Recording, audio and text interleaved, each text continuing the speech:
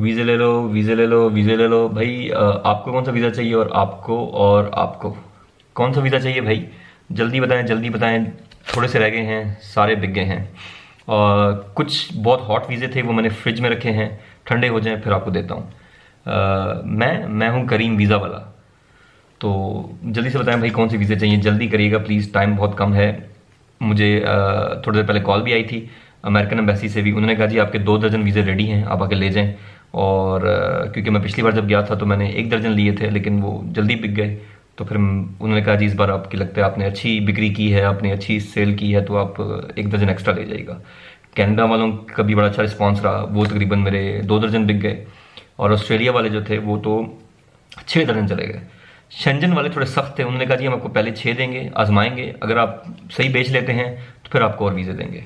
तो मैंने कहा, ठीक है, कोई बात नहीं। तो अलहमदिल्ला आपकी दुआओं से सारे मेरे वीज़े बिक गए। अब थोड़े से रह गए हैं तो जो पहले आएगा, वो पहले पाएगा। राइट तो कोई ऑर्डर है तो प्लीज़ कमेंट में कर दीजिएगा। और व्हाट्सएप नंबर तो मेरा सबके पास है ही है तो जल्दी जल्दी ख़त्म हो जाएँगे सारे। अस्सलाम वालेकुम। अगेन करीम करीम वीज़े वाला सॉरी करीम ट्रैवल एडवाइजर से वीज़े वाला जस्ट जोक वो इसलिए था कि आपको कुछ मैं समझाना चाह रहा था।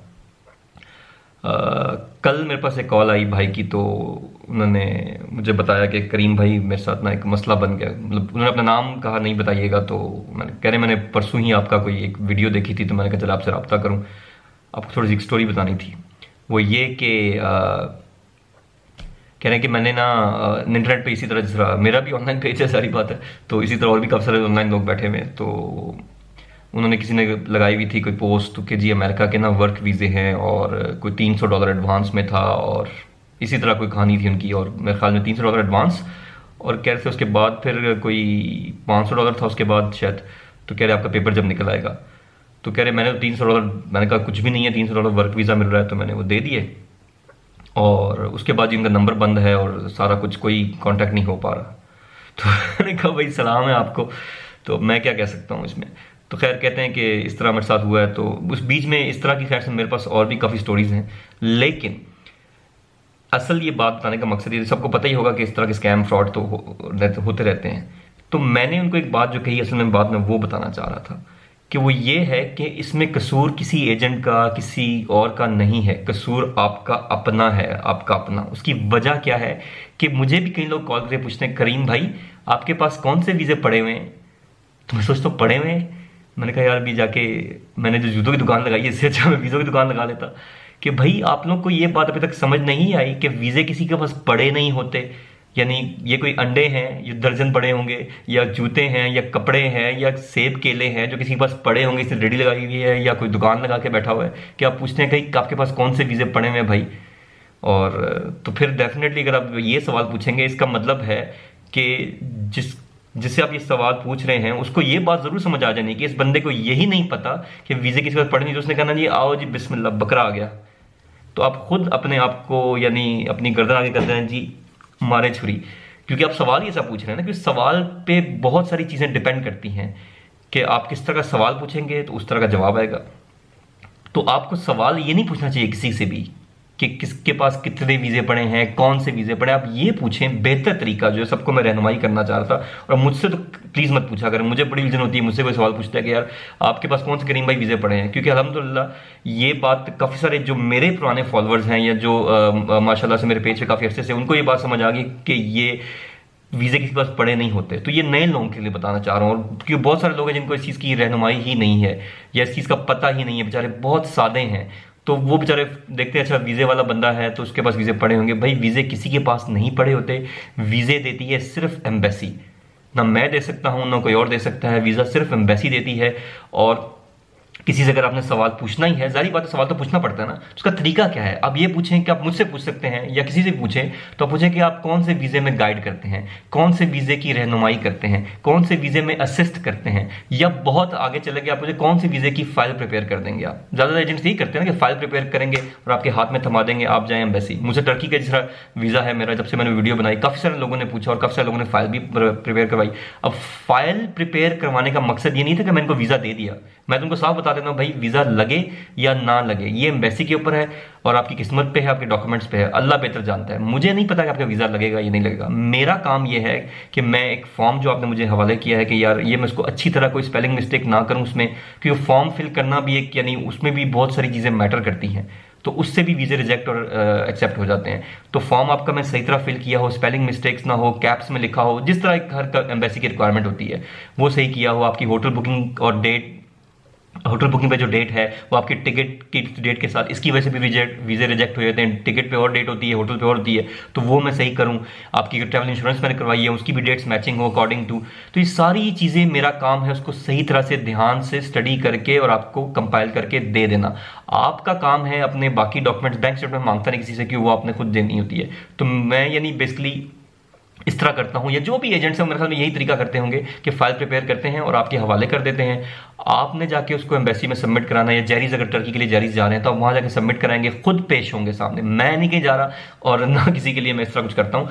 तो मैं साफ़ ये भी वीडियो में पहले भी बता चुका लेकिन दोबारा इसलिए बता रहा था कि ये काफ़ी सारे लोग पूछते हैं जी, आपके पास कौन से वीज़े पड़े इसका मतलब अगर मैंने आपको वीज़ा दे दिया तो फिर तो ना ना आपने कभी ज़िंदगी में एम्बेसी को देखना है, ना जेरीज वाले को देखना है, आपने बस टिकट करानी है, अल्लाह खैर सल्ला ई वीज़ा ज़रूर होते हैं, वो डिफरेंट होते हैं, लेकिन उनमें भी मैं हमेशा किसी को मुझसे पूछता भी नहीं जिन वीज़ों का मैं काम करता हूँ, जैसे कि ई वीज़ाज हैं, मलेशिया क्या हो गया वियतनाम है कंबोडिया है, मैं उनका भी नहीं किसी को कहता हाँ जी, ये मेरे पास पड़े हैं और अभी आप ले लें जाके। मैं हमेशा यही कहता हूँ, जी अप्लाई करेंगे।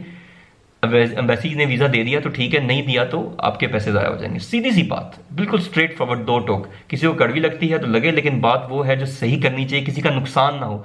मीठी मीठी बातें करके आपका नुकसान करवा दूँ तो वो उस बेहतर है, या अगर मैं थोड़ी सी कड़वी बात करके आपका नुकसान होने से बचा लूँ आपको तो ज़्यादा बेहतर है। तो काइंडली प्लीज़ इस चीज़ को दिमाग में बिठा लें प्लीज़ प्लीज़ रिक्वेस्ट कर रहा हूँ आपसे कि किसी से मत ये पूछें कि किसके पास कितने वीज़े पड़े हैं, कौन से वीज़े पड़े हैं। उससे ये पूछा करें, यार, आप कौन सी वीज़ा फ़ाइल में असिस्ट कर सकते हैं?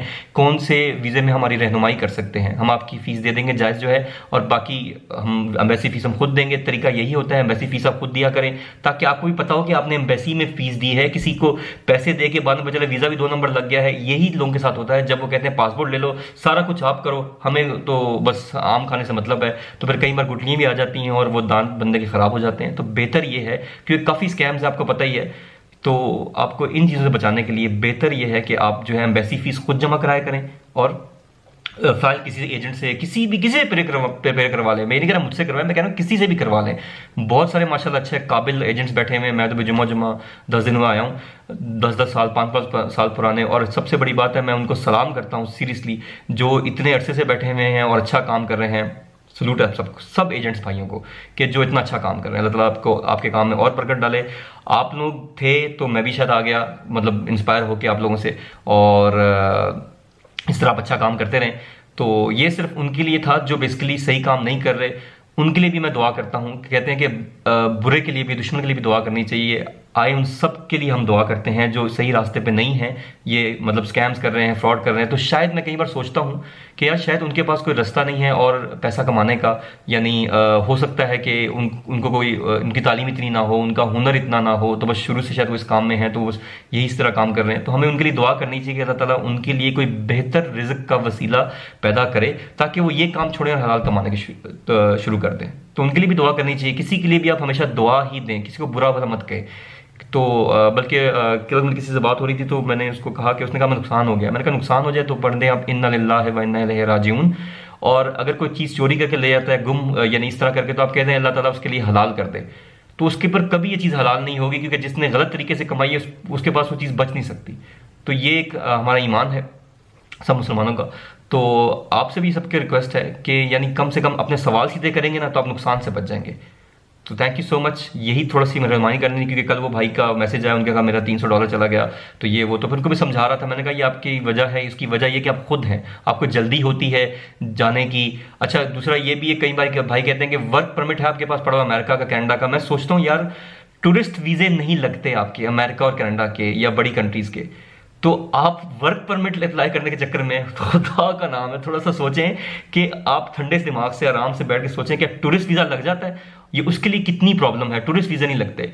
और आप उससे भी बड़ा वीज़ा वर्क वीज़ा लेने के चक्कर में भाग रहे होते हैं लोगों के पीछे। थोड़ा सा हाँ दुबई सऊदिया मलेशिया, इनके मिल जाते हैं क्योंकि ये एक नॉर्मल कंट्रीज़ है। लेकिन मैं अमेरिका और कनाडा और ऑस्ट्रेलिया की बात कर रहा हूँ, वहाँ के work visa I don't know मुझे तो नहीं, आज तक किसी को नज़र आया कि मैं किसी को वर्क वीज़ा मिला हूँ मेरे सामने, मेरी फैमिली में। बाकी आप लोग किसी ने दिए हों, मुझे इस चीज़ का नहीं आलम, दुनिया बहुत बड़ी है और डेफिनेटली मैं सबको नहीं जानता, लेकिन मैं अपने एक्सपीरियंस की बात कर रहा हूँ। तो टूरिस्ट वीज़ा नहीं मिलता वर्क वीज़ा कहाँ मिलेगा? तो थोड़ा सा ख्याल किया करें, अपने पैसे, अपना टाइम बचाएँ थोड़ी सी सही रिसर्च कर लें। इसलिए मैं कहता हूँ हमेशा कि इंटरनेट का पैकेज करा लिया करें गूगल करें यूट्यूब पर देखें, इतनी वीडियोज़ पड़ी हैं। खुद आप समझदार हैं माशाला तो आप देख सकते हैं कौन सही बात कर रहा है, कौन गलत है, क्या मैं इसको पैसे दूँ या ना दूँ, ये चीज़ सोच लिया करें right thank you so much please visa ले लीजिएगा मेरे से, अब, अभी भी थोड़े बाकी हैं। तो खैर एनीवेज दोनों प्लीज़ याद रखें। थैंक यू सो मच जो नया चैनल है मेरा करीम द ब्रिज बिल्डर उसको मैंने नाम चेंज किया है करीम रैंडम्स कर दिया है। उसकी बस कुछ वजह थी। तो क्योंकि मैंने सोचा कि मैं किसी भी चीज़ की, मैं बाउंड ना हूँ, मैं किसी भी चीज़ की पिक्चर बना लूँ वीडियो बना लूँ तो मैं रैंडम का मतलब होता है, आप आपको पता ही होगा तो रैंडम्स के नाम से मैंने रख लिया। तो उसको ज़रूर सब्सक्राइब कर लें बेल का बटन दबा दें ताकि आपको मजीद अपडेट्स मिलती रहें। मिलते हैं नेक्स्ट वीडियो में। Thank you so much video बहुत लंबी होगी है जितनी कोशिश करता हूँ छोटी रखूँ, लेकिन again thank you so much और कुछ लोग नेगेटिव कमेंट्स कर देते हैं वीडियो देखे बगैर, ओ, ये, वो तो मैं कहता हूँ, चलो, अल्लाह ताला उनको भी हिदायत दे, भाई वीडियो देख लिया करें, बोला क्या है? राइट अल्लाह हाफिज़। Thank you so much.